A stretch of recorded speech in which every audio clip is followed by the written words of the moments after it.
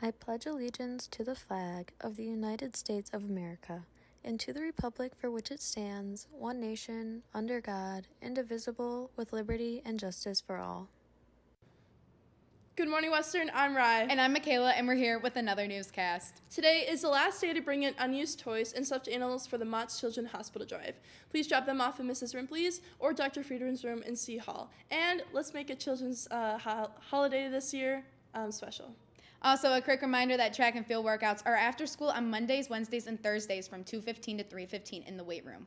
Attention all students and staff. The junior class is selling candy grams at all lunches starting today up until Wednesday. They'll be $1 each or 5 for $1. Send a candy gram to your friend, your, fa- your favorite staff member, or your crush to help them get into the holiday spirit. To add on to the holiday spirit, we're having a spirit week, and it started today and continues on to next week. Monday will be pajama day. Tuesday is feeling frosty, so wear all white.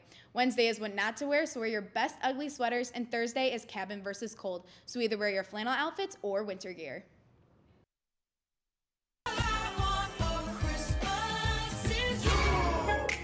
Soldier boy.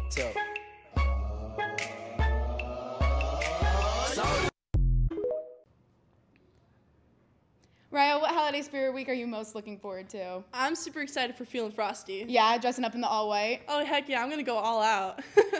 also, we'll be having band grams set at all lunch all lunches now through Tuesday.